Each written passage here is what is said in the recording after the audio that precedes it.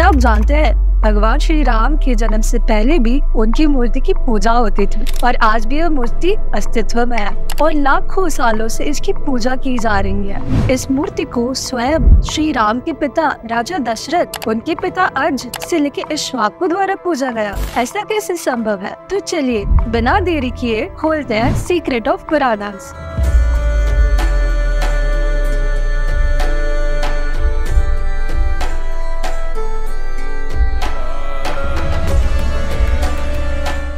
ये घटना है श्वेता युग, राम राज्य अयोध्या नगरी की। अयोध्या में भगवान का एक बहुत ही शुद्ध, निष्ठावान, ब्राह्मण भक्त रहता था और इस भक्त ने एक व्रत लिया था कि जब तक श्री राम के दर्शन नहीं करूँगा अन्न जल ग्रहण नहीं करूँगा। तो उस समय भगवान श्री राम प्रतिदिन महल के बाहर आते और सारे अयोध्या वासियों को अपने दर्शन देते और इसी प्रकार यह भक्त भी भगवान के दर्शन करते और उसके बाद ही अन्न जल ग्रहण करते। रुकिए, परंतु तब क्या होता, जब श्री राम अयोध्या से बाहर जाते तो यह ब्राह्मण भक्त तब तक भूखे प्यासे रहते, जब तक कि श्री राम वापिस आकर दर्शन नहीं देते। कई बार श्री राम दो दिन तक और कभी पाँच दिन के लिए रात तारे की वजह से अयोध्या से बाहर होते।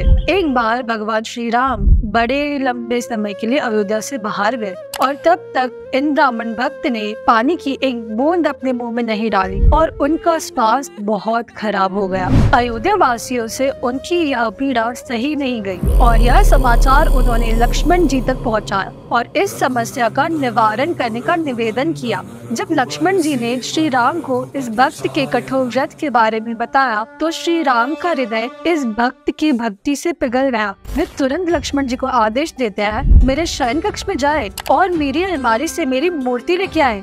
रुकिए, ये कौन सी मूर्ति है? जी हाँ ये वही मूर्ति है जिसे स्वयं श्वाकु वंश के राजा द्वारा पूजा गया इंक्लूडिंग श्री राम के पिता दशरथ। और जब श्री राम स्वयं आए तो वह अपनी मूर्ति की पूजा क्यों करते?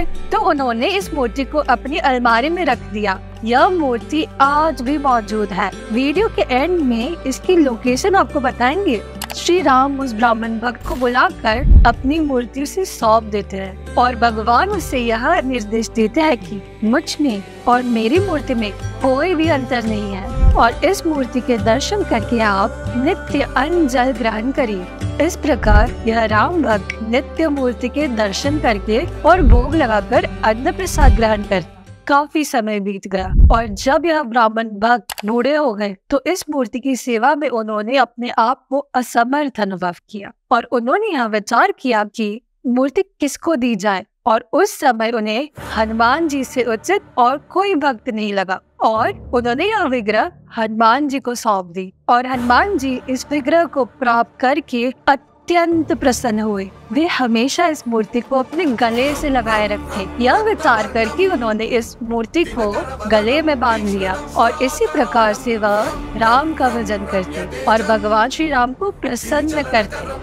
और बाद में यह विग्रह हनुमान जी ने पांडवों में से एक भाई भीम से प्रसन्न होकर उन्हें सौंप दी। और बाद में पांडव वंश के अंतिम राजा शेमकांत ने यह मूर्ति उड़ीसा के गजपति राजा के संरक्षण में सौंप दी। और मध्व संप्रदाय के आचार्य माधवाचार्य जब उड़ीसा आए तो यह विग्रह अपने मठ ले आए और अपने मठ में मूर्ति की स्थापना करके पूजा शुरू कर दी। और तब से लेके आज तक लाखों साल बीत गए हैं और आज भी यह मूर्ति अस्तित्व में है। इस मूर्ति का नाम है मूल राम देवारू।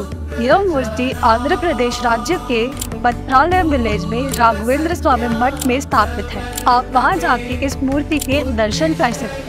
पर रुकिए रुकिए। श्री राम के जन्म से पहले उनकी मूर्ति कैसे बनाई जा सकती है? ये कैसे संभव है? किसी भी व्यक्ति के बारे में जानकारी प्राप्त करने के लिए उसका अस्तित्व में होना ज़रूरी है। इस मूर्ति की पूजा तो श्री राम के जन्म के लाखों वर्ष पहले से हो रही थी। कैसे? तो प्रश्न ये आता है, श्री राम के जन्म से पहले उनकी मूर्ति कहाँ से आ गई? तो इसका उत्तर हमें मिलता है, भगवत गीता के अध्याय चार। श्लोक संख्या सात और आठ में भगवान श्री कृष्ण कहते हैं कि परित्राणाय साधूनां विनाशाय च दुष्कृतां धर्म संस्थापनार्थाय संभवामी युगे युगे। अधर्म का विनाश करने और धर्म की पुनर्स्थापना करने दुष्टों का नाश व भक्तों की रक्षा करने मैं हर युग में अवतार लेता हूँ। श्लोक में युगे युगे शब्द इम्पोर्टेंट है। वैदिक शास्त्रों के अनुसार समय के परिवर्तन को चार युगों में बांटा गया है। पहला, सतयुग, दूसरा त्रेता युग तीसरा द्वापर युग और चौथा, कलयुग। इन अलग अलग युगों में भगवान अलग अलग अवतार लेते हैं। मतलब जब ये युग चेंज होगा तो उस युग में कौन सा अवतार प्रकट होगा, ये पहले से फिक्स है। सतयुग में मत्स्य, कुर्मा, वरा, नरसिम्हा अवतार प्रकट होंगे। त्रेता युग में वावन परशुराम श्री राम अवतार प्रकट होंगे। द्वापर युग में श्री कृष्ण और बलराम प्रकट होंगे। कल युग में कल की अवतार प्रकट होंगे। इन अवतारों को हमारे शास्त्र में युग अवतार कहा गया है और इनके प्रकट होने का युग फिक्स होता है। इसे एक एग्ज़ाम्पल से समझ सकते हैं। जब सूर्य अस्त होता है तो सूर्य मरा नहीं है, और जब अगले दिन उगता है तो नए सूर्य ने जन्म नहीं लिया है। ये वही सूर्य है, अपने समय के अनुसार प्रकट और अप्रकट होते रहता है। वैसे ही भगवान का आना जाना भी सूर्यास्त और सूर्योदय जैसा है। युग के अनुसार भगवान प्रकट और अप्रकट होते रहे हैं। तो भगवान श्री राम के जन्म से पहले उनकी मूर्ति का होना कोई संदेहजनक या आश्चर्यचकित होने वाली बात नहीं है। इस त्रेता युग से पहले भी किसी और त्रेता युग में भगवान श्री राम अवतार ले चुके थे और भगवान का अस्तित्व शाश्वत है। इस वीडियो को लाइक करें और भक्तों को शेयर करें। ऐसी और भी अद्भुत रोचक कथाएँ सुनने के लिए हमारे चैनल को सब्सक्राइब करें। श्याम रामचंद्र की जय। जय श्री राम।